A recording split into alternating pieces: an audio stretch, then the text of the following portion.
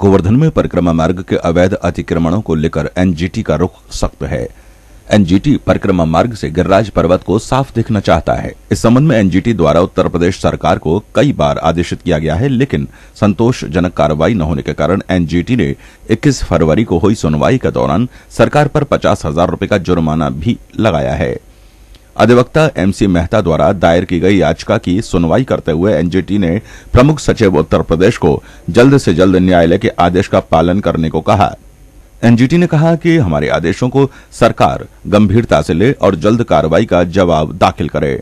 इसके चलते बुधवार को गोवर्धन राधा कुंड परिक्रमा मार्ग से अवैध अतिक्रमण जेसीबी के माध्यम से ध्वस्त किए गए और लोगों को अतिक्रमण न करने की चेतावनी दी गई। इस बारे में जानकारी देते हुए नायब तहसीलदार अजय कुमार यादव ने बताया कि एनजीटी के आदेश अनुसार कार्रवाई की जा रही है।